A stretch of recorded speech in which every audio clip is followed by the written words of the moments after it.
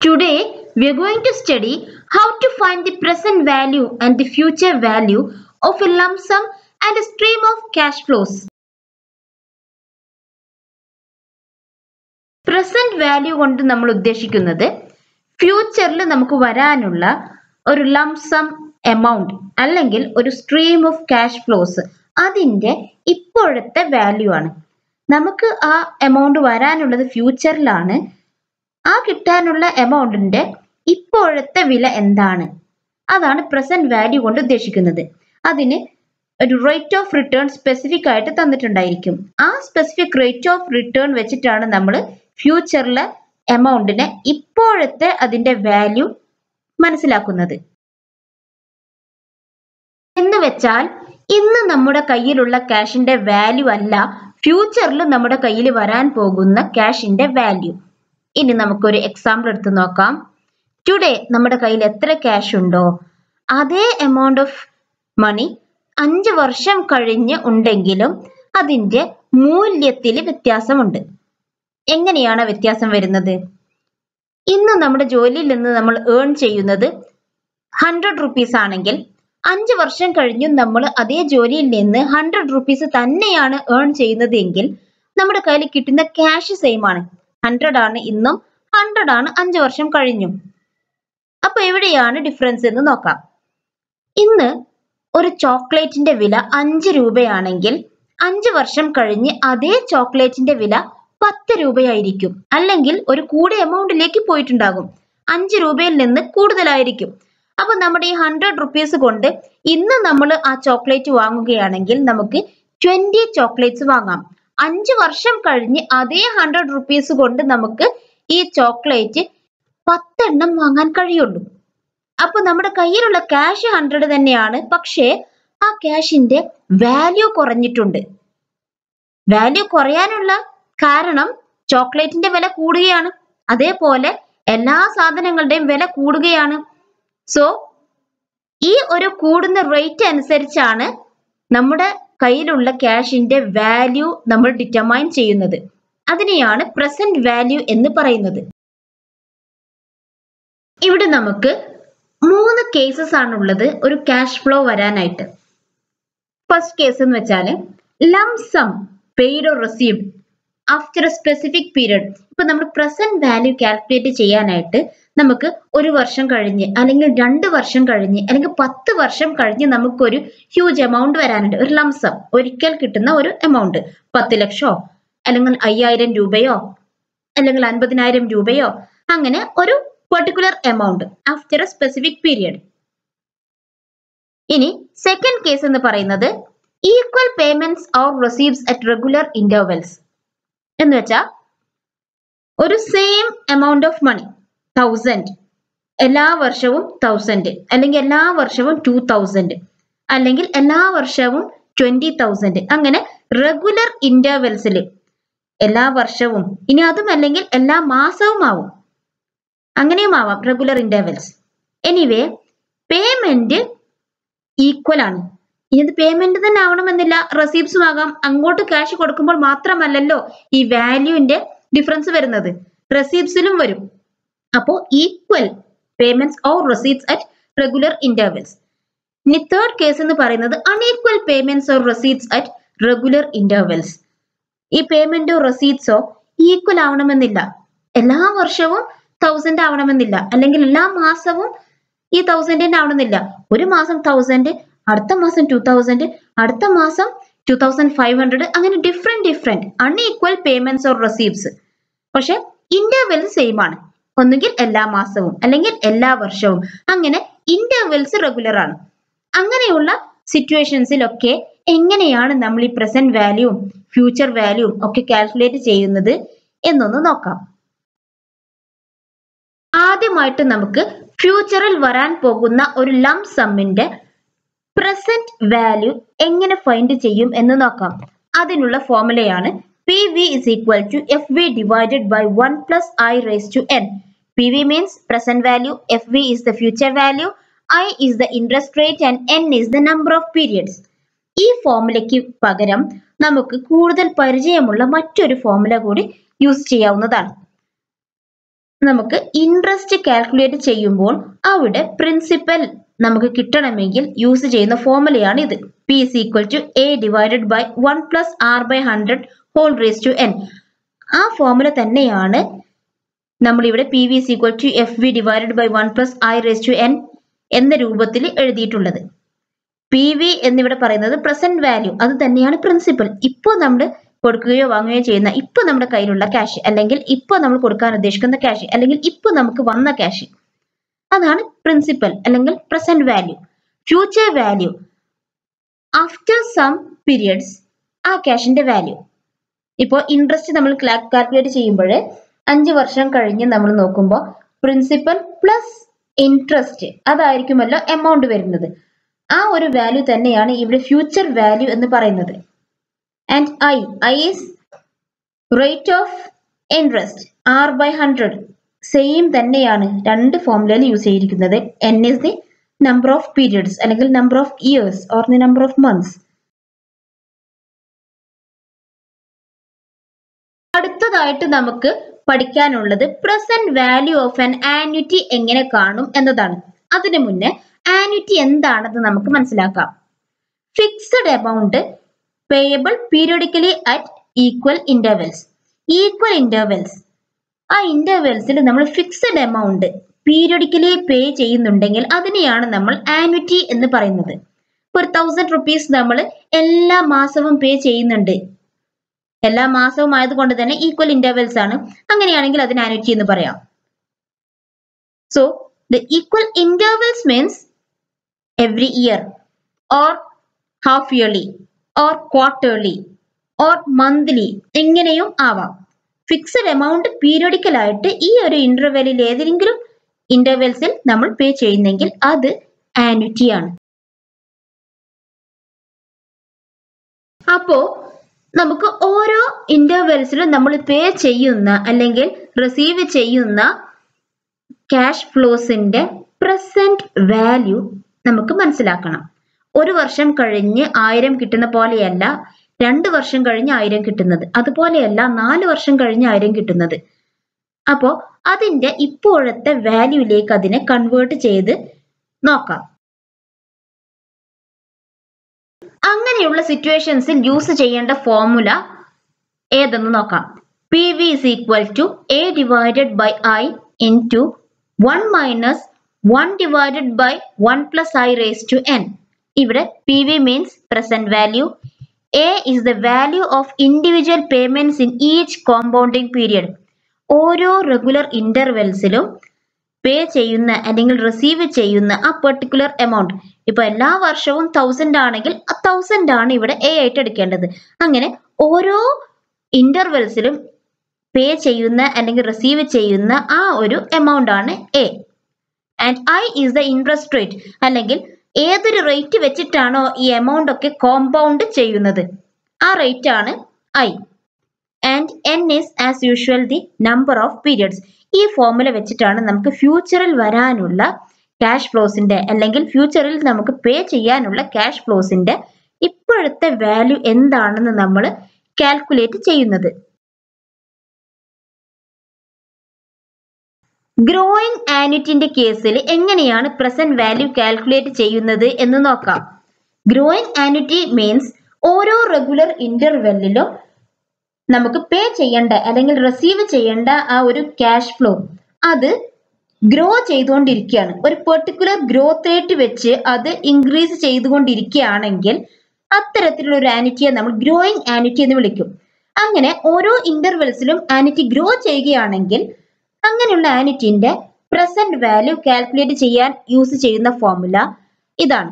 ഇത് നമ്മൾ നേരത്തെ present value of annuity find ചെയ്യാൻ യൂസ് ചെയ്ത സെയിം ഫോർമുലയാണ് അതിൽ ചെറിയ ഒരു ചേഞ്ച് വരുത്തിയിട്ടുണ്ട്. ഈ ഗ്രോത്ത് റേറ്റ് കൂടി നമ്മൾ ഇൻക്ലൂഡ് ചെയ്തിട്ടുണ്ട്. അപ്പോൾ present value is equal to A divided by I minus G into one minus one plus G divided by one plus I whole raise to N ഇവിടെ P V is the present value A is the annuity payment in the first period ഓരോ regular ഇന്റർവെൽസിലും different annuity ആണ്. കാരണം annuity ഓരോ പീരീഡിലും grow ചെയ്യുകയാണല്ലോ. അതുകൊണ്ട് നമ്മൾ first പീരീഡിലെ annuity payment ആണ് ഇവിടെ എ ആയിട്ട് നമ്മൾ ഈ ഫോർമുലയിൽ യൂസ് ചെയ്യുന്നത്. Next I is as usual the interest rate അല്ലെങ്കിൽ ഏതൊരു റേറ്റ് വെച്ചിട്ടാണോ എമൗണ്ട് കോമ്പൗണ്ട് ചെയ്യുന്നത് ആ റേറ്റ് ആണ് I then N is the number of periods and G ഈ ഒരു ഫോർമുലയിൽ നമ്മൾ ഇൻക്ലൂഡ് ചെയ്ത ആ പുതിയ എലമെന്റ് ജി ഗ്രോത്ത് റേറ്റ് ആണ്.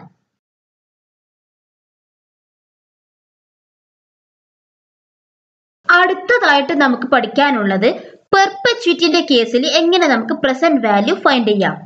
പെർപ്പച്വിറ്റി എന്നാൽ നമ്മൾ ഇൻഡെഫിനിറ്റ് ആയിട്ട് കൊടുക്കുന്ന അല്ലെങ്കിൽ വാങ്ങുന്ന ആനിറ്റിയാണ് for example irredeemable preference shares അതിന്റെ കേസിലൊക്കെ ഇപ്പൊ നമുക്ക് ഒരുപാട് കാലത്തേക്ക് അതിന്റെ ഡിവിഡൻഡ് കൊടുക്കേണ്ടി വരും. അത് ഇൻഡെഫിനിറ്റ് ആയിട്ട് കിടക്കുകയാണ്. അങ്ങനെ ഇൻഡെഫിനിറ്റ് ആയിട്ട് വരുന്ന ക്യാഷ് ഫ്ലോസിനെയാണ് നമ്മൾ പെർപ്പച്വിറ്റി എന്ന് പറയുന്നത്. ഇവിടെ നമുക്കൊരു ഡെഫിനിറ്റ് ടൈം പീരീഡ് കൊടുക്കാൻ കഴിയില്ല. കാരണം ടൈം പീരീഡ് ഈസ് ഇൻഫിനിറ്റ് അങ്ങനെയുള്ള കേസിൽ എങ്ങനെ പ്രസന്റ് വാല്യൂ കാണാമെന്ന് നോക്കാം. ഇവിടെ നമുക്ക് യൂസ് ചെയ്യാനുള്ള formula P V is equal to A divided by I P V means present value I is the interest rate and A is the value of individual payments in each compounding period ഓരോ പീരിയഡിലും payment same ആണ്. അതിന്റെ N അതാണ് indefinite ആയിട്ട് കിടക്കുന്നത്. Infinity ആണ്. Extremely large ആയിട്ട് അങ്ങനെ കിടക്കുകയാണ്. ഇൻഡെഫിനിറ്റ് പീരിയഡ് അതുകൊണ്ട് നമുക്ക് ടൈം എടുക്കാൻ കഴിയില്ല. എൻ ഇവിടെ കൊടുക്കാൻ കഴിയില്ല. പക്ഷെ ഓരോ പീരിയഡിലും പേയ്മെന്റ്സ് സെയിം ആണ്. So A is that value of individual payment അപ്പൊ നമുക്ക് ഇൻഡെഫിനിറ്റ് ആയിട്ട് വരുന്ന പേയ്മെന്റ്സിന്റെ കേസിൽ ഫോർമുല കുറച്ചുകൂടി സിമ്പിൾ ആയിരിക്കുകയാണ്. P V is equal to A divided by I and the next situation is where the perpetuity is growing ഇവിടെ perpetuity grow ചെയ്യുകയാണ്. ഈ ഒരു സിറ്റുവേഷനിൽ നമുക്ക് സെയിം ഫോർമുല ഒരു ചേഞ്ചോട് കൂടി യൂസ് ചെയ്യാം. P V is equal to A divided by I minus G ഇവിടെ എക്സ്ട്രാ വന്നിട്ടുള്ള എലമെന്റ് ജി ആണ്. അത് rate of growth of annuity ആണ്. ഈ മോഡലിനെയാണ് ഗോൾഡൻ ഗ്രോത്ത് മോഡൽ എന്ന് പറയുന്നത്. ഫ്യൂച്ചർ വാല്യൂ എന്നാൽ ഇപ്പൊ നമ്മുടെ കയ്യിലുള്ള എമൗണ്ടിന്റെ ഫ്യൂച്ചറിലുള്ള മൂല്യം എന്താണ്? അതിനെയാണ് ഫ്യൂച്ചർ വാല്യൂ എന്ന് പറയുന്നത്. നമ്മുടെ കയ്യിൽ ഇപ്പോ നൂറ് രൂപയുണ്ടെങ്കിൽ അഞ്ച് വർഷം കഴിഞ്ഞതിന് ശേഷം ഈ നൂറ് രൂപയുടെ മൂല്യം കുറഞ്ഞിട്ടുണ്ടായിരിക്കും. ആ അഞ്ച് വർഷം കഴിഞ്ഞതിന് ശേഷമുള്ള വാല്യൂ എന്തായിരിക്കും? ഇപ്പോഴുള്ള എമൗണ്ടിന്റെത് അതാണ് ഫ്യൂച്ചർ വാല്യൂ എങ്ങനെയാണ് future value of a present sum find ചെയ്യുന്നത് എന്ന് നോക്കാം. ഇവിടെ നമ്മൾ present value of a sum find ചെയ്യാനുള്ള ഫോർമുല പഠിച്ചിട്ടുണ്ട്. That is PV equal to to FV divided by 1 plus I whole raise to N ഈ same formula നമുക്ക് F V find ചെയ്യാനും യൂസ് ചെയ്യാം. ഈ കേസിൽ എഫ് വി അവിടെ തന്നെ നിർത്തിയിട്ട് ഈ one plus I raise to N നമുക്ക് ഈ സൈഡിലോട്ട് എടുത്താൽ മതി. പി വിയുമായിട്ട് മൾട്ടിപ്ലൈ ചെയ്യാം. It becomes F V is equal to into one plus I whole raise to N അപ്പോൾ ഈ ഒരു ഫോർമുലയിൽ നിന്ന് തന്നെ നമുക്ക് future value of a present sum calculate ചെയ്യാനും കഴിയും by making a small difference like this ഇനി ഈ ഫോർമുലയിൽ പറയുന്ന കോൺസെപ്റ്റ്സ് എല്ലാം നമുക്ക് പരിചയമുള്ളതാണ്. That is P V is present value F V future value I is interest rate and N is the number of periods ഇനി കൂടുതൽ പരിചയമുള്ള മറ്റൊരു ഫോർമുലയിൽ നിന്ന് വന്നതാണ് ഈ ഫോർമുല ഏതാണെന്ന് നോക്കാം. C A is equal to P into one plus R by hundred whole raise to N ഇവിടെ നമ്മൾ കൊടുത്തിട്ടുള്ളത് കോമ്പൗണ്ട് ഇൻട്രസ്റ്റിലെ എമൗണ്ട് കാണാനുള്ള ഫോർമുലയാണ് എന്ന് വെച്ചാൽ ഈ future value is the same as the amount in the case of a compound interest compound interest calculate ചെയ്യുമ്പോൾ അത് അതിന്റെ പ്രിൻസിപ്പലുമായിട്ട് നമ്മൾ ആഡ് ചെയ്താൽ നമുക്ക് കിട്ടുന്ന എമൗണ്ട് തന്നെയാണ് ഈ ഫ്യൂച്ചർ വാല്യൂ ഇവിടെ കൊടുത്തിട്ടുള്ള പ്രസന്റ് വാല്യൂ എന്ന് പറയുന്നത് നമ്മൾ കോമ്പൗണ്ട് ഇൻട്രസ്റ്റിന്റെ കേസിൽ എടുക്കുന്ന പ്രിൻസിപ്പൽ ആണ്. E P then the other thing one plus I I is same as R by hundred and that raise to N number of periods same ആണ്. So ഈ ഫോർമുല അല്ലെങ്കിൽ ഈ ഫോർമുല നമുക്ക് യൂസ് ചെയ്യാം. Both are the same ഇനി നമുക്ക് future value of annuity എന്താണെന്ന് നോക്കാം. റെഗുലർ ക്യാഷ് ഫ്ലോസിന്റെ ഫ്യൂച്ചറിൽ ഒരു പെർട്ടിക്കുലർ ടൈമിലുള്ള വാല്യൂവിനെയാണ് നമ്മൾ ഫ്യൂച്ചർ വാല്യൂ ഓഫ് ആനുറ്റി എന്ന് പറയുന്നത്. ആനുറ്റി നമ്മൾ നേരത്തെ പഠിച്ചിട്ടുണ്ട്. റെഗുലർ ആയിട്ട് വരുന്ന ക്യാഷ് ഫ്ലോസ് ആണ്. അപ്പൊ നേരത്തെ നമ്മൾ പറഞ്ഞത് പ്രസന്റ് വാല്യൂ ഓഫ് ആനുറ്റി ആണ്.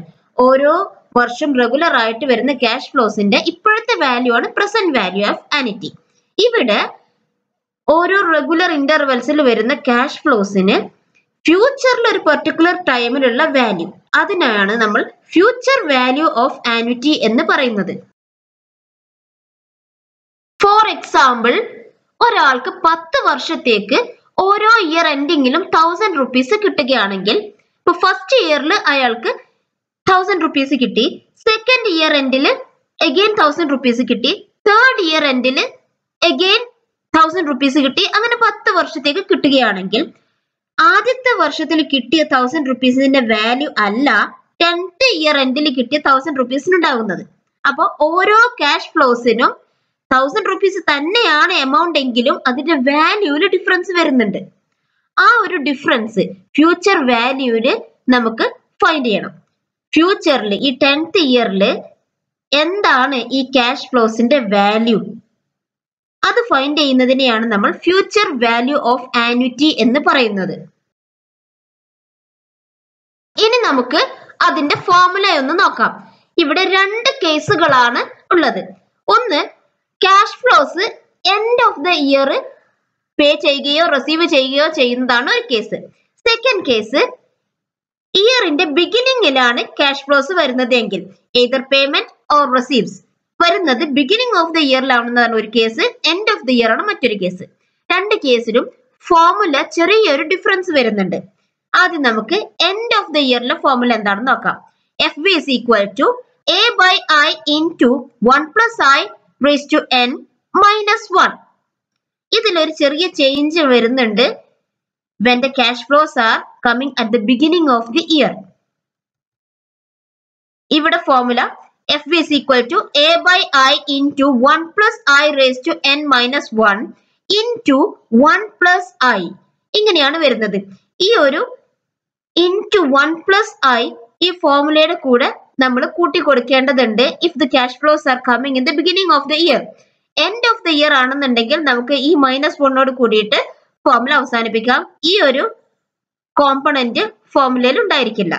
And all the things are the same F B is the future value A is the value of individual payments ഓരോ ഇൻസ്റ്റാൾമെന്റും അല്ലെങ്കിൽ ഓരോ ഇയറിലും വരുന്ന ക്യാഷ് ഫ്ലോ ആണ് A then I is the interest rate N is the number of periods മിക്കവാറും കേസുകളിലെല്ലാം end of the ഇയറിലാണ് ക്യാഷ് ഫ്ലോസ് വരുന്നത്. സോ ക്വസ്റ്റ്യനിൽ സ്പെസിഫിക് ആയിട്ട് ബിഗിനിങ് ഓഫ് ദ ഇയർ എന്ന് മെൻഷൻ ചെയ്തിട്ടില്ല എങ്കിൽ എൻഡ് ഓഫ് ദ ഇയർ ആയിട്ടാണ് നമ്മളത് പരിഗണിക്കുന്നത്.